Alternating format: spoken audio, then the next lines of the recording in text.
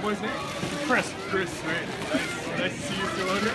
Oh, uh, oh yeah, absolutely. So two, four, six, eight, nine, ten.